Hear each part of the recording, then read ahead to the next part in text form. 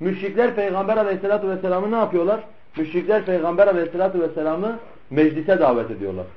Gel diyorlar sen bizim meclisimize sen bizim meclisimize git. Meclisimize girdiğin zaman ne olacak? Sana mutlak reislik hakkı doğacaktır. Yani istediğin gibi ne yapacaksın? İstediğin gibi artık hükmedeceksin. Sen de bizim gibi kanun koyacaksın diyorlar Peygamber aleyhissalatü vesselam'a.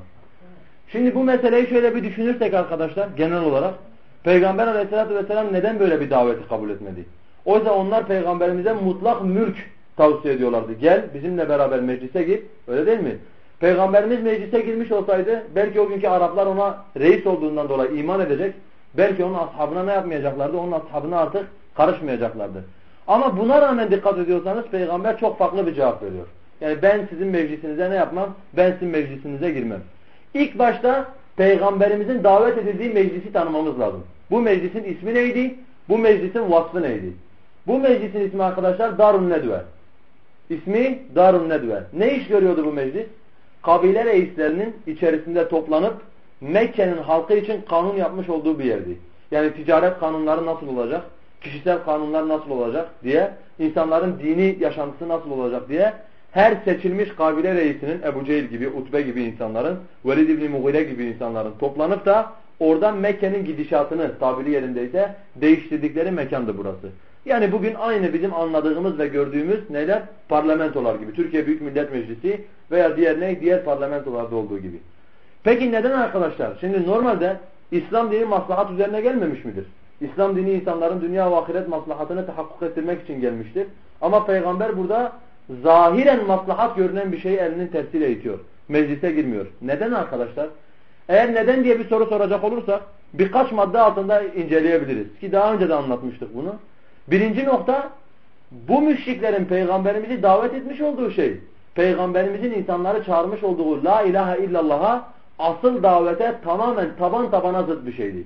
Nasıl diyeceksiniz? Meclise girmeyle la ilahe illallah arasında nasıl bir bağlantı var? Biliyorsunuz arkadaşlar la ilahe illallah mücerret bir kelime değil. La ilahe illallah böyle her söyleyeni İslam dinine sokacak bir kelime değil. Bilakis bu kelime bütün peygamberlerin ortak daveti, bütün peygamberlerin sırf bu kelimeden dolayı hayatlarını işkence altında geçirdiği bir kelime. Bütün Müslümanların tarihi boyunca bundan dolayı kanlarını, canlarını, mallarını feda etmiş oldukları ne? Feda etmiş oldukları bir kelime. O zaman bu kelimenin bazı şartları vardır mutlaka. Ve bu kelimeyi bazı bozan unsurlar vardır mutlaka. Baktığımız zaman arkadaşlar Kur'an-ı Kerim'e Allah la ilahe illallah'a iki tane şart koyuyor. Yani hemen kısa olarak Allah la ilahe illallah'a iki tane şart koşuyor. Birinci şart ne arkadaşlar? Birinci şart فَمَنْ يَكْفُرْ بِالطَّاغُوتِ وَيُؤْمِنْ بِاللّٰهِ فَقَدْ اِسْتَمْسَكَ بِالْعُرْوَةِ الْوُسْطَى Kim tağutu inkar eder, Allah'a da iman ederse sapasağlam kulpa yapışmıştır. Sapasağlam kulp neydi arkadaşlar? Sapasağlam kulp la, la ilahe illallah. Yani bir insanın la ilahe illallah'a yapışabilmesi için ilk başta tağutu inkar etmesi lazım. Ondan sonra da Allah'a iman etmesi lazımdır. Peki bu tağut neydi arkadaşlar? Allah'ın bir insanın İslam dairesine girebilmesi için şart koşmuş olduğu tağutu inkar dediğimiz bu tağut neydi? Bunu daha önce uzun uzadıya anlatmıştık. Sadece tağutun bir özelliğini söyleyelim. Tağut insanların Allah'ın dışında kendisine muhakeme oldukları, problem yaşadıkları zaman onu kanun olarak Allah'ın kanunlarının dışında, şeriatının dışında kendisine muhakeme oldukları her müessese Allah'ın yanında neydi? Allah'ın yanında tağuttu. Delilimiz ne bu konuda arkadaşlar? Elem tara ilellezine yez'umun ennehum amenu bima unzile ileyke ve ma unzile min qablike yuridun en yetehakemu ila tağuti ve kad umiru en yekfuru bih ve yuridu şeytanu en yudillahum dalalen ba'ida. Sen sana ve senden önce indirilene iman ettiklerini zan edenleri gördün mü? Bak Allah bunların imanını kabul etmiyor.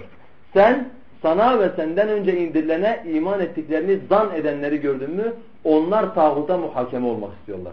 Buradaki tağut neydi arkadaşlar? Bazı tefsircilere göre bir kahin, bazı tefsircilere göre Kâb ibni Eşref'ti.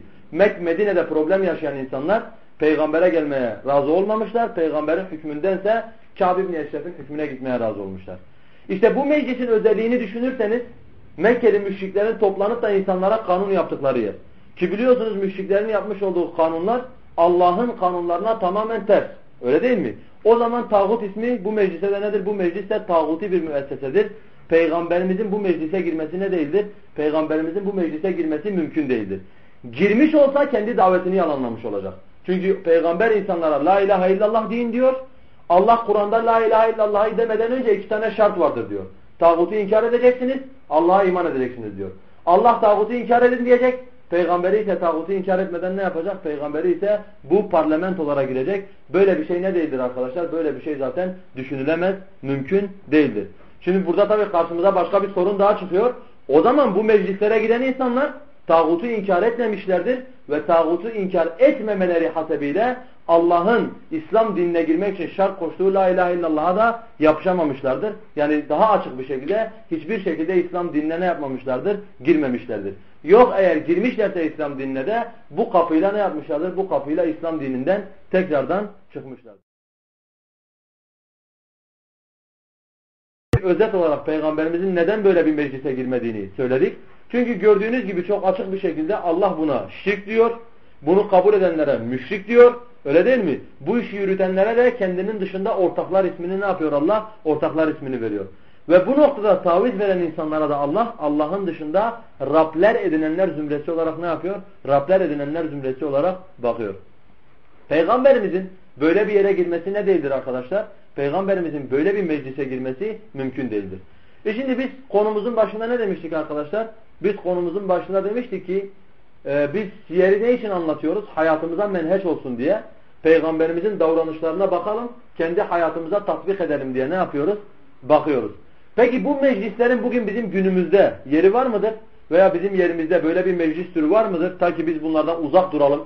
Peygamberimizin yaptığı gibi içinden maslahat görünse dahi bundan elimizi eteğimizi çekelim. Evet vardır arkadaşlar.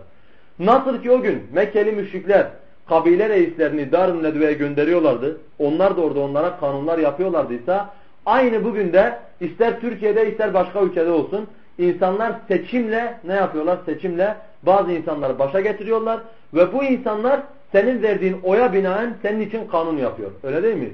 Onların koymuş olduğu kanun da senin ortaklığınla gerçekleşmiş oluyor. Çünkü sen oy vermesen o adam başa gelemeyecek.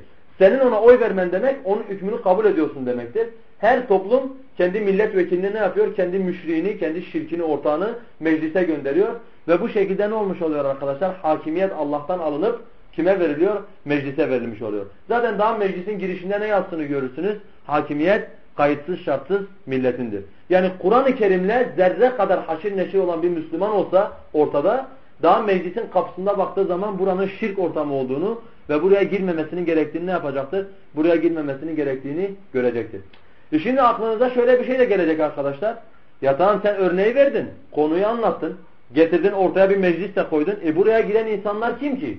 Yani buraya giden insanlar Müslüman olduğunu iddia eden insanlar ve arkasında bağıran insanlar mücahit mücahit diye sesleniyorlar bunlara. Yani bırakın isimleriyle seslenmeyi Allah yolunda cihad ediyorlarmış gibi bunlara mücahit mücahit diye sesleniyorlar. Veya adam gecesini gündüzüne katıyor ne yapıyor? Sırf bu meclise girmek için çalışıyor. Tek bir tane amacı var. O da Müslümanlara faydalı olmak. E sen ne yaptın şimdi koca? Tuttun müşriklerle ilgili ayetleri getirdin. Bunların üzerine uyguladın. Oysa bunlar kelime-i şehadet ne yapan? Kelime-i şehadet getiren insanlar diye belki içinizden söyleyebilirsiniz. Veya dersiniz ki arkadaş bu adamlar müşrikti. Bunlar ise ne? Bunlar ise Müslüman. İslam'ın faydası için çalışıyorlar. Arkadaşlar hakimiyet noktasında Allah hiç kimseyi mazur görmemiştir. Hakimiyet noktasında Allah hiç kimseyi mazur görmemiştir. Peygamberle beraber Mekke'de yıllarca işkenceye katlanan insanlar dahi bu hakimiyet noktasında hata yapacakları zaman Allah onlara tek kelimeyle cevap vermiştir. Eğer bu hatayı yaparsanız siz müşriklerden olursunuz. Peygamberin yanında davetin ilk taşı olan insanlar bir defasında ayakları kayıyordu bu noktada. İyazu billah. Neredeyse hakimiyette bir noktada hakimiyeti Allah'tan başkasına vereceklerdi. Allah tek kelimeyle olaya nokta koydu. Siz hakimiyeti Allah'tan başkasına verirseniz, o müşriklere itaat ederseniz siz müşriklerden olursunuz. Nasıl gerçekleşmişti olay arkadaşlar? Müşrikler Müslümanlara demişlerdi ki Allah size diyor kesmediğiniz hayvanları yemeyin. Kendi kendine ölen hayvan yenilmez biliyorsunuz. Dediler siz kendi elinizle kestiğiniz hayvanları yiyorsunuz. Fakat Allah'ın öldürdüğü mübarek altın bıçağıyla kesmiş olduğu hayvanları ise yemiyorsunuz dediler Müslümanlara. Bu nasıl bir mantıktır? Şimdi Müslümanlar bir an düşündüler. Ya gerçekten biz kendi elimizle kesiyoruz, yiyoruz. Allah'ın öldürdüğünü ne yapmıyoruz? Allah'ın öldürdüğünü ise yemiyoruz deyince Allah yedi kat göğünün üzerinden öyle bir fetva indirdi ki arkadaşlar Kalpleri titreten bir fetva. Ve in ata'tumuhum innekum lemushrikun. Eğer siz o müşriklere itaat ederseniz, benim haram kıldığımı helal kabul ederseniz siz işte o zaman muhakkak ki müşriklerden olursunuz. Ayete dikkatle bakın. Üç tane tekit var ayette. Ve in ata'tumuhum innekum inne sonra zamir getirmiş, muttasıl zamir getirmiş sonra le müşrikun. Üç tane ardı arkasına Allah ne getiriyor arkadaşlar? Üç tane ardı arkasına Allah subhanehu ve teala tekitli zamir getiriyor. Eğer siz onlara bu noktada itaat ederseniz siz müşriklerden olursunuz. Eğer Allah bu noktada peygamberin sahabesine dahi hiçbir şekilde torpil geçmemişse bugünün necis insanları, bugünün parlamentosuna giren insanları Allah hiçbir şekilde ne yapmayacaktır arkadaşlar? Hiçbir şekilde mazur görmeyecektir. İkincisi biz Yahudi değiliz arkadaşlar. Biz Hristiyan değiliz. Bu itikat kimin itikadıdır? Bu itikat Yahudi ve Hristiyanların itikadıdır. Onlara göre Allah'ın ayetleri ve hükümleri onları ne yapmaz? Onları kapsamaz. Ne diyordu Yahudiler? Mesela Yahudiler puta tapmışlardı arkadaşlar. Biliyorsunuz puta tapmak, tapmak insanı ebedi cehennemde bırakır. Çünkü insan puta taparak müşrik olur. Yahudiler ne dediler? وَقَالُوا لَنْ تَمَسَّنَ النَّارُ اِلَّا اَيَّامًا مَعْدُودًا Ateş bize sadece belli günlerde dokunacak dediler. Tamam da niye ki? Siz şirk koştunuz, puta taptınız. Puta tapan insan ebedi cehennemde kalır. Niye ateş size belli günlerde dokunacak? Çünkü dediler نَحْنُ اَبْنَاءُ اللّٰهِ وَاحِبَّاهُ Biz Allah'ın oğulları ve biz Allah'ın sevgili kullarıyız. İşte aynı şekilde arkadaşlar bugün maalesef bazı Müslümanlar Allah'ın kesinlikle taviz kabul etmediği hakimiyet gibi noktalarda ne yapıyorlar? İşte efendim ya biz Müslümanız onlar müşriklerdi. Bu şeyler, ayetler müşrikler için geçerlidir. Bizi hiçbir şekilde ne yapmaz? Bizi hiçbir şekilde bağlamaz diye bazı insanların boş boş konuştuğunu ve Yahudileşme temayülü içerisine girdiğini görürsünüz. Ama ne dedik? Allah hakimiyet noktasında, helal haram noktasında, kanun noktasında maalesef ve maalesef ne yapmamıştır arkadaşlar? Peygamberin yanında yer alan sahabeyi dahi bu konuda Allah subhanehu ve teala mazur görmemiştir ki ta ki bugünkü insan